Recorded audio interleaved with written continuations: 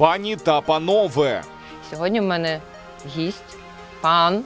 Микола Марчук, Пан Микола Марчук, настоятель церкви Покрови Пресвятої Богородиці у селищі Солоне, правильно? І ще капелан. Да. Товариш батюшка отець Ніколай Коляджан. Родом я з Івано-Франківщини. Тут я вже 20 31 рік вже на Дніпропетровщині.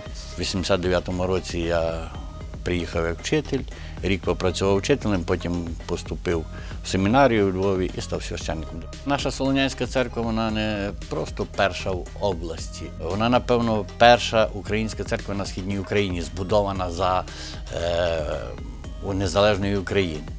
Священник це так як лікар, він повинен багато уваги приділяти тому, що психологічний стан пацієнта повинен бути, щоб знайти собі якусь переміну. Це я ходжу, якісь віршики собі е, римую.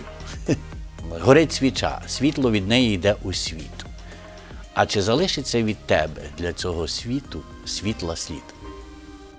субота, 30 травня, 11 година, 9 канал.